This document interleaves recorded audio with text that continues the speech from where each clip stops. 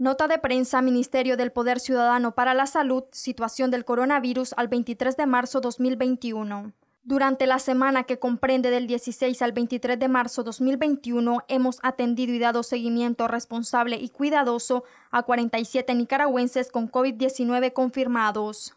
De la misma forma, 34 personas de las que estaban en seguimiento responsable y cuidadoso han cumplido con el periodo establecido. Desde el inicio de la pandemia hasta el día de hoy hemos atendido y dado seguimiento responsable y cuidadoso a 5.288 personas. Continuamos trabajando para dar atención a las familias nicaragüenses. Las personas que han estado en seguimiento responsable y cuidadoso por COVID-19 con frecuencia han tenido padecimientos asociados como hipertensión arterial, diabetes mellitus, obesidad, enfermedades cardíacas, síndrome de inmunodeficiencia, insuficiencia renal crónica, antecedentes de accidentes cerebrovasculares, tuberculosis pulmonar y enfermedades pulmonares crónicas.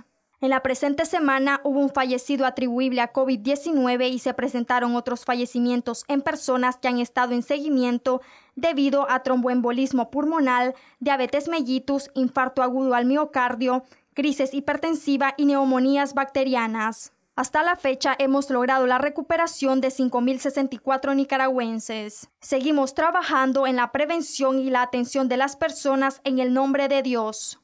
Para Crónica TN8, Xochil Espinosa.